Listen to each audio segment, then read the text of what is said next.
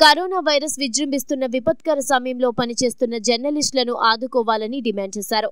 Corona సమయంలో వైద్యులు పోలీసులు పారిశుద్ధ్య కార్మికులతో పాటు జర్నలిస్టులు కీలక పాత్ర పోషిస్తున్నారని ప్రభుత్వం గుర్తించడం లేదని సీనియర్ జర్నలిస్టులు ఆవేదన వ్యక్తం చేశారు.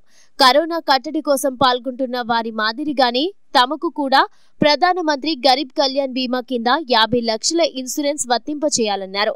అలాగే ఐదు వేల భృతితో పాటు నిత్యావసరాలను పంపిణీ చేయాలన్నారు. విధి నిర్వహణలో ఉన్న జర్నలిస్టులకు పీపీఈ కిట్లు ఎన్ నైన్టీ ఫైవ్ మాస్కులు అందించాలని డిమాండ్ చేశారు. కార్యక్రమంలో ప్రింట్ మరియు ఎలక్ట్రానిక్ మీడియాకు చెందిన సీనియర్ జర్నలిస్టులు కరణం తిప్పేస్వామి శివలింగారెడ్డి లింగప్రసాద్ చంద్రశేఖర్ మస్తాన్ తిమ్మరాజు ఉమేష్ ఇషాక్ రూపేష్ షఫీ తదితరులు పాల్గొన్నారు. ఈ నేపథ్యంలో ఈ కరోనా కట్టడికి చేస్తున్న నివారణ చర్యల్లో అంటే మూల స్తంభాలైన పోలీస్ తర్వాత వైద్య రంగం తర్వాత మీడియా జర్నలిస్టులు తర్వాత పారిశుద్ధ్య కార్మికులు ఈ నాలుగు రంగాల్లోనే చాలా విశేష కృషి చేస్తున్నారు. వీటి వీరందరినీ కూడా ప్రభుత్వాలు కేంద్ర రాష్ట్ర ప్రభుత్వాలు గుర్తిస్తున్నాయి.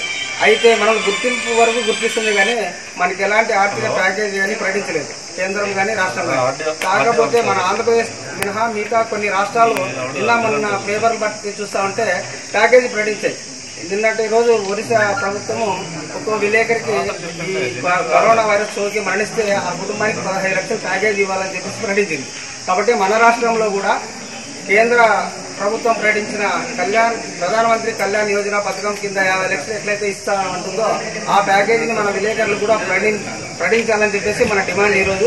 ఐజేయు రాష్ట్ర నాయకుడు మన మచ్చా రామలింగారెడ్డి గారు అనంతపురంలో ఈరోజు ఇదే డిమాండ్తో ప్రధాన డిమాండ్తో అనంతపురంలో ధర్నా కూర్చున్నారు. ఆయన సంఘీభంగా మనం కూడా కళ్యాణం ఆర్టీఓ కార్యాలయం ముందు ధర్నా చేస్తున్నాము. కేంద్ర రాష్ట్ర ప్రభుత్వాలు కరోనాకు సంబంధించి అందరికీ అంటే ఇప్పుడు డాక్టర్లకు కానీ పారిశుద్ధ కార్మికులకు కానీ పోలీసులకు కానీ రక్షణ కల్పిస్తోంది. మనకి లేదు రక్షణ. బాంబేలో యాభై మూడు మంది ఒకే ఛానల్లో యాభై మూడు మంది విలేకరులకు వచ్చింది కరోనా. వాళ్ళ కుటుంబాల పరిస్థితి ఏంటి?